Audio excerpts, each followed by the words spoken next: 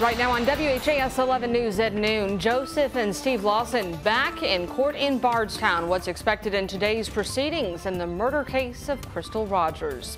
Plus tense moments for Hardin County residents. An armed man escapes police on the interstate and takes off through a cornfield. How they were able to track him down.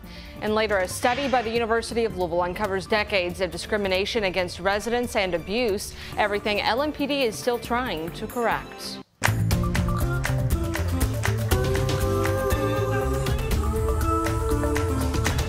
Thanks so much for joining us here on your Friday during our noon show. We are joined by meteorologist Reed Yadon, who decided what better day to get out to the pumpkin patch at Gallrein Farms in Shelby County. Reed, it's a beautiful afternoon out there.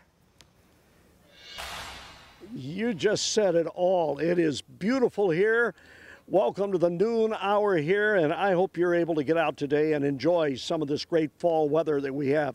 We're here in Shelby County. Wow, the place is crawling, as you can see around here. It's pumpkin time, it's fall. What a beautiful day for it.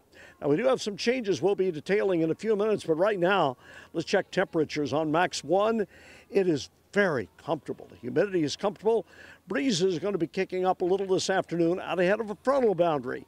And we'll discuss that with you in detail when we come back in just a few minutes with the complete weather.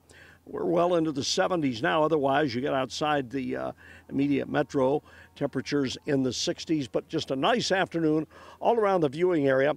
I think the clouds will be on the increase. There's your temperature progression. We top out in the low 80s today, 20% shower chance, really, really small. I wouldn't worry about that a great deal. It should not be interfering with tonight's football games in the area. But we'll detail all of that for you coming up. Also, let you know what to expect for your fall weekend. Brooke, I'll see you in about 15 minutes from right now. Reed, thank you. In the next two hours, the father and son charged in the death of Crystal Rogers are expected back in court. Steve and Joseph Lawson are charged with conspiracy to commit murder and tampering with evidence in the Bardstown mother's 2015 death. We expect Steve Lawson's attorneys to say whether or not they've received all the necessary documents from his former attorney, Ted Lavit, who Lawson fired back in August. Just a few weeks ago, attorneys accused him of withholding those files. If Lavit hasn't provided the documents, he would need to attend today's hearing to provide an explanation to the judge. No hearings today in the federal retrial of former LMPD detective Brett Hankison. Thursday, two Metro police officers who were there during that raid on Breonna Taylor's home in 2020 took the stand. LMPD Sergeant Brandon Hogan was one of the last witnesses called by prosecutors. He responded to the scene after Taylor was shot and said he didn't see how an officer could have shot into that building given the circumstances. The defense then called LMPD detective Mike Nobles, who used a battering ram to break open Taylor's front door. Nobles told prosecutors he would not have fired the shots Hankison did.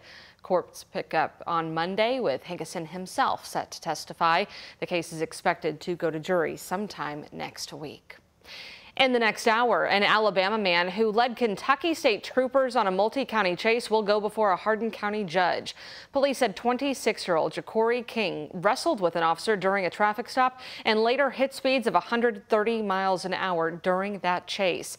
It started as a chase near Bowling Green, Kentucky and continued north on I-65 into Hardin County before police say the man crashed his car in Glendale near that new Blue Oval SK battery plant. He then took off on foot before surrendering some three hours later. Our Clarice Shaley and photojournalist Aspen Hesser were there. The small town of Glendale busy with traffic. Big trucks off the interstate passing through. I 65 was closed as Kentucky State Police and others hunted for a man called armed and dangerous. I kind of felt like it was all contained. and It all started with a traffic stop in Bowling Green where state police say a man wearing black clothing fled in a vehicle traveling north. That man wrecking around Glendale, then running off into cornfields. People out and about two miles away from the search area, while Kentucky State Police warned people the suspect was armed. You know, like most of us, we kind of keep ourselves safe. We got, you know, we got measures around to keep ourselves safe. So, yeah, it's not that big of a deal. Battery plant Blue Oval, right at the interstate, put their campus in lockdown while the search continued. The Whistle Stop restaurant in Glendale staying open, watching for more information to come in. Had a couple of the servers a little concerned about it, just due to the fact that social media had a big play on everybody finding out. Until the suspect was arrested. Looks like they actually just found him. him. Did they? Great relief in Glendale. Clarice Shaley, WHAS 11 on your side. Ja'Cory King is expected in court at 1 o'clock this afternoon.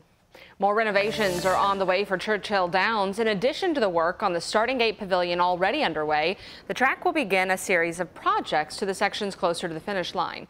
It's expected to take three to four years, and we're told the plan is to start with the Sky Terrace Suite, which it plans on taking down and replacing.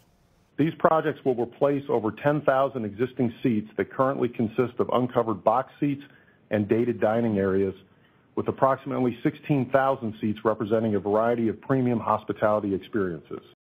Churchill said these projects will considerably increase the amount of seating at the track. A recent report on LMPD's history of policing in Louisville is racing, raising concerns. In short, the U of L's report said the history is not good. So LMPD held a town hall to address these issues with the community. Our Alexander Goldberg and photojournalist Elijah McKenzie were there. Okay, that's the Civilian Review Board. Julina Frierson had a lot she wanted to discuss at the LMPD Town Hall in the California neighborhood. So she scribbled it all down. So it's a lot of stuff on here. Uh, but she wasn't happy, hoping to see more people engage in the conversation, including rank and file officers. If you don't have the participation, real participation from the community and the the police on the ground, this is just not going to work.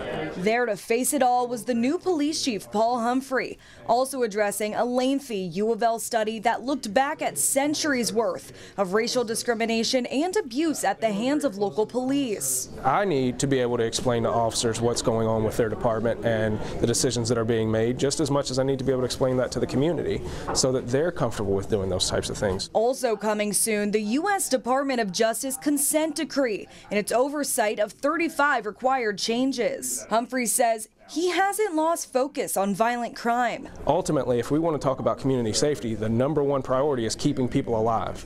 And when you have 150 plus people being shot and killed, and another 300 plus people being shot, those are families that are torn apart. But moving forward, Frierson says change will only happen from the ground up. How many police? 1,200 police?